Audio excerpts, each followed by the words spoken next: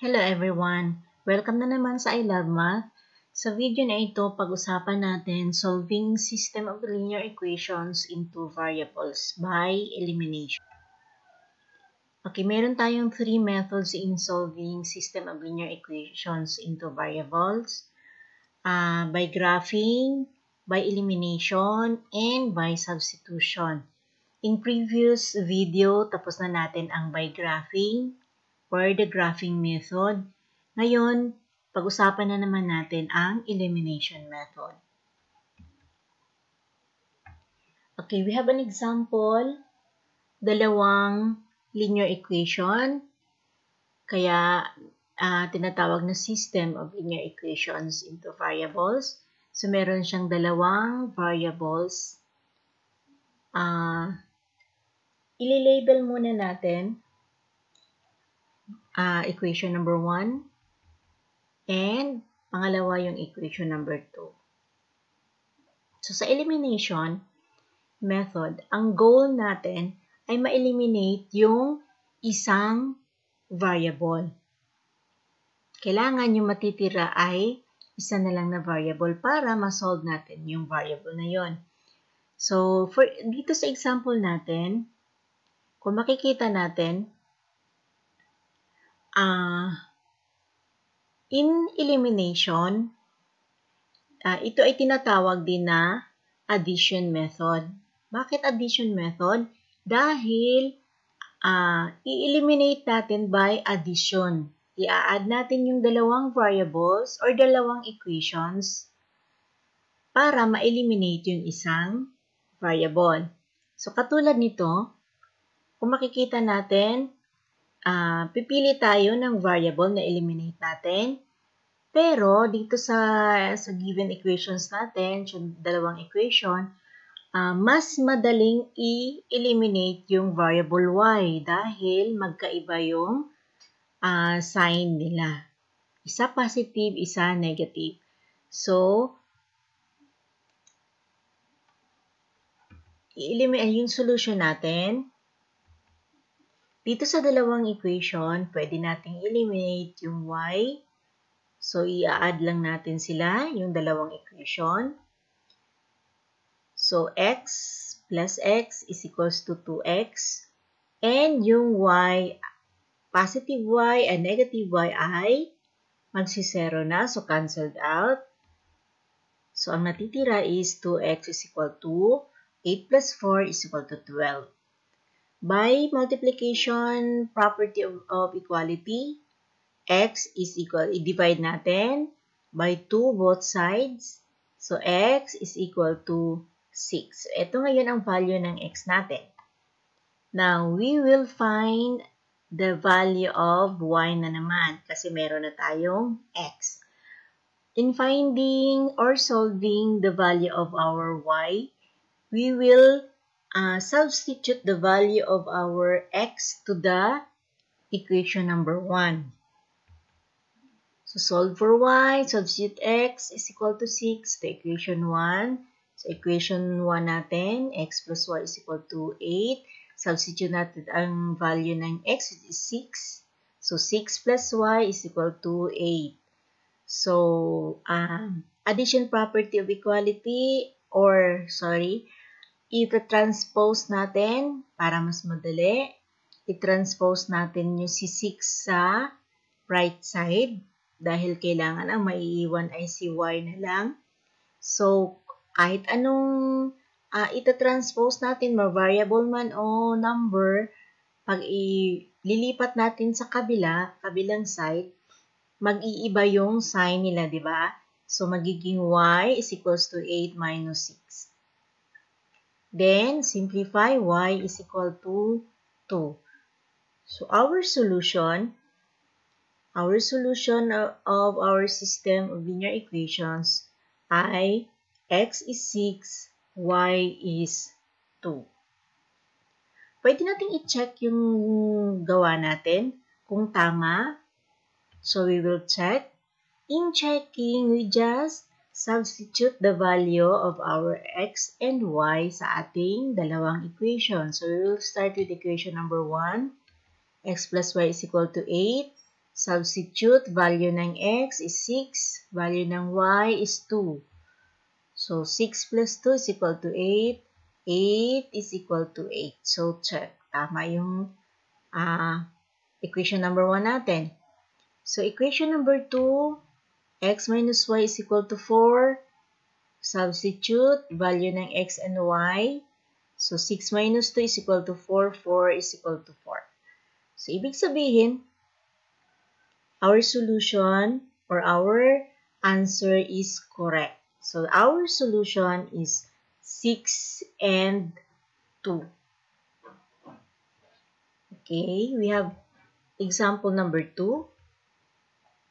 Given 2x plus y is equal to 1 and negative x plus y is equal to 10.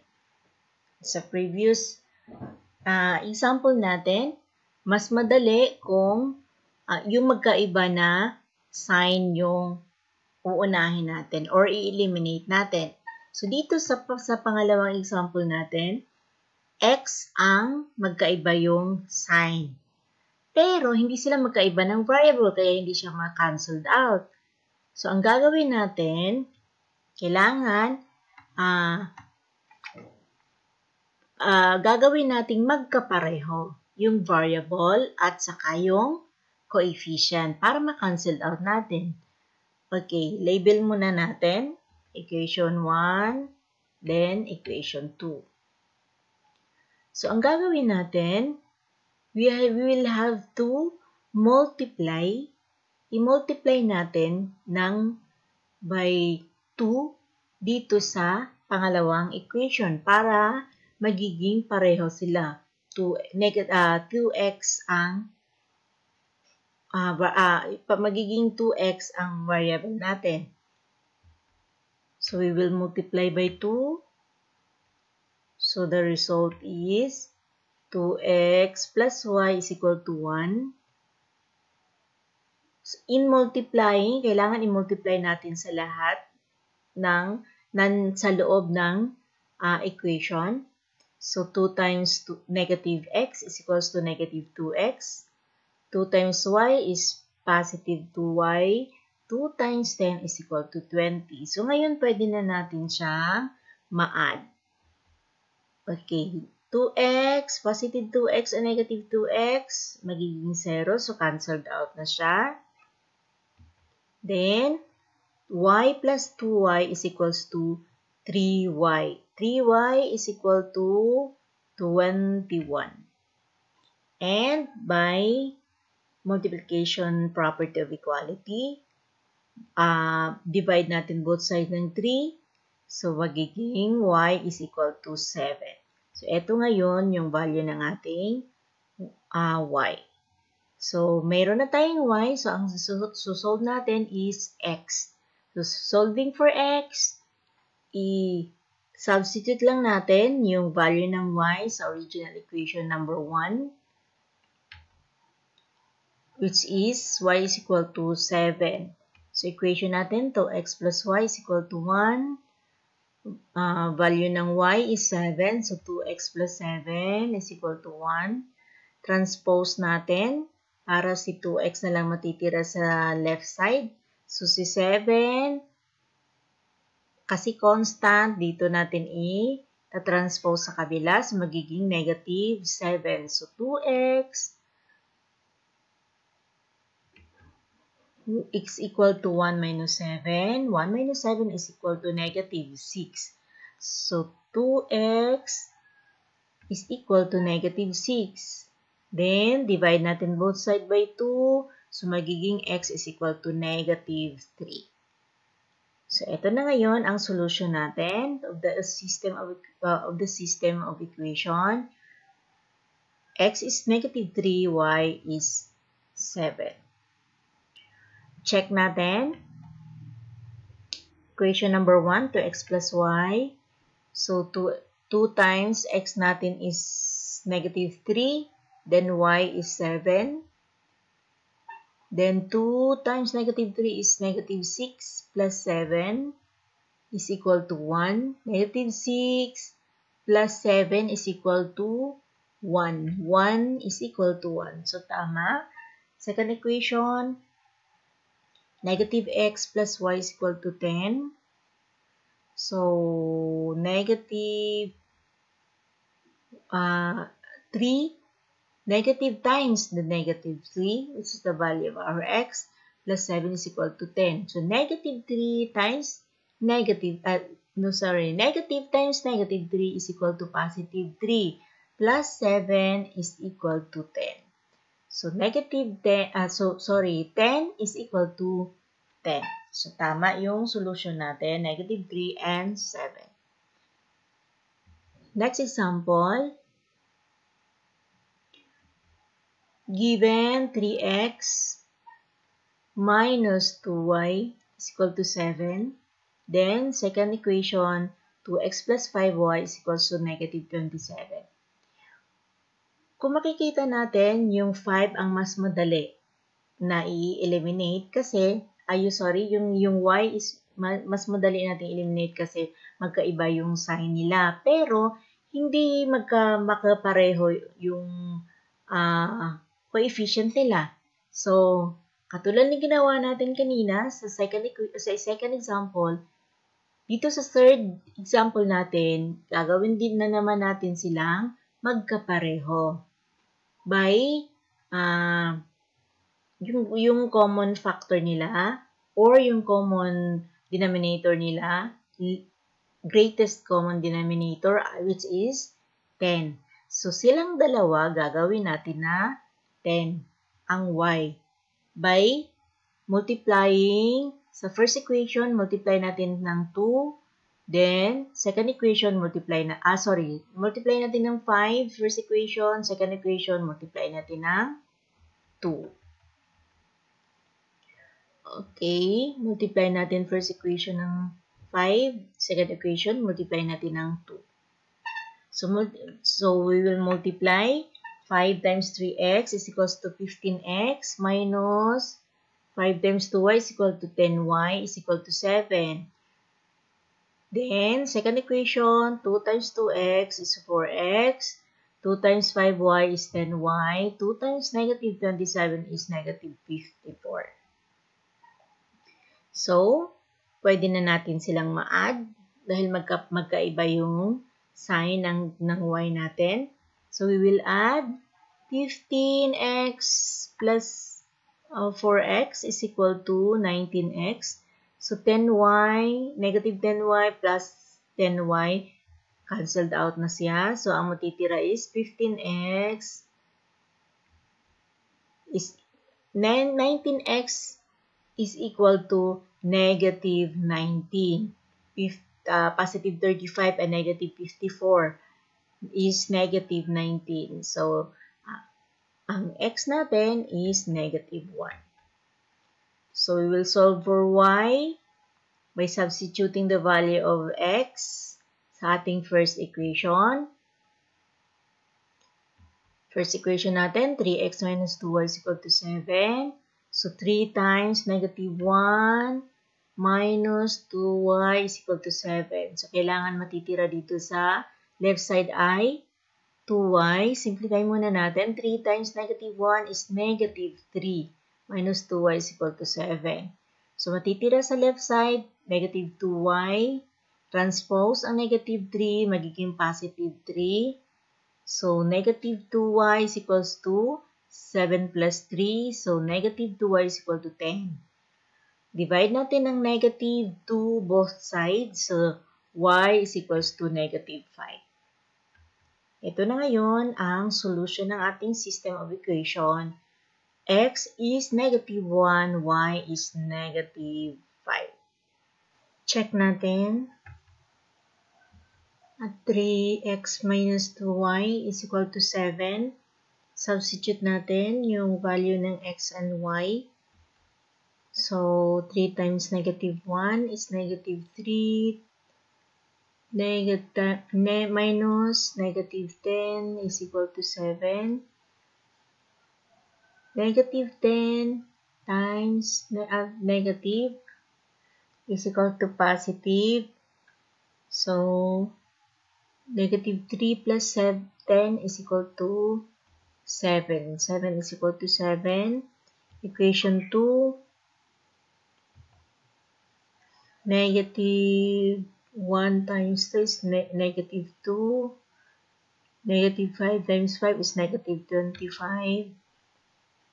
So, 27, negative 27 is equal to 27. So, check. So, ibig sabihin, solution is negative 1 and negative 5. Example 4. Dito sa example 4 natin, kung makikita natin, wala tap tayong pwedeng i-eliminate agad. So, kailangan nating pag, ma, ma, pareho sila. And, yung sign nila ay pareho. So, kailangan uh, isa is positive, isa is negative. So, dito, kailangan natin silang dalawa talaga yung uh, gawa natin ng paraan. So, pipiliin natin y ang ating eliminate. So, gawin natin silang pareho. So, we will have the 12. Gagawin natin silang 12 pareho. So, we will multiply equation 1 to para maging 12 to 3. Then equation 2 para maging 12 is 2. Then, para ma maiba yung sign sa equation 2 para maging negative, gagawin natin negative 2. Okay, so, multiply natin sa lahat ng nasa loob ng parentheses. So, we have 3 times 5 is 15. 3 times 4y is equal to 12y. 3 times 22 is equal to 66. Then, negative 2 times 7x is equal to negative 14x.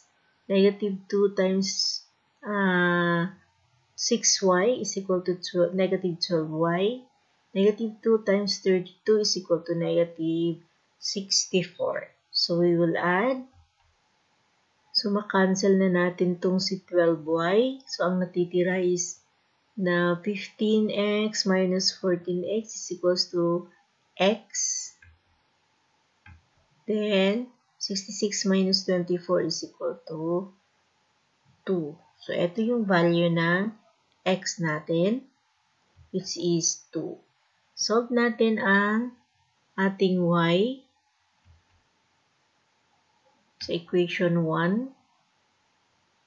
So, 5, value ng x is which is 2 plus 4y is equal to 22. So, 10 is equal plus 4y is equal to 22. So, transpose natin si 10, magiging negative sa kabila.